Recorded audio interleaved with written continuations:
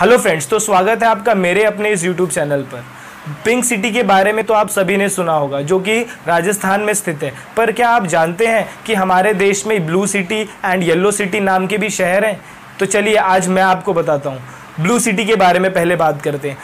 राजस्थान में एक जगह है जिसका नाम है जोधपुर।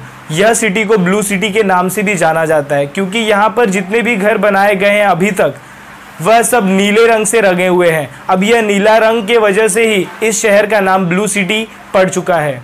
चलिए ब्लू सिटी के बारे में आपने जान लिया। तो अभी हम येलो सिटी के बारे में बात कर लेते हैं। येलो सिटी भी राजस्थान में ही है। इस सिटी को जैसलमेर के नाम से जाना जाता है। इस सिटी को गोल्डन सिटी भी कहा जाता है। ऐसा इसीलिए क्योंकि इसके दो कारण है। पहला कारण, यह यह जो शहर है, यह पूरा रेत के बीच में बसा हुआ है। इसीलिए जब सूरज की किरणें इस पे पड़ती हैं तो ऐसा लगता है कि वह पीले कलर का पूरा एक शहर है।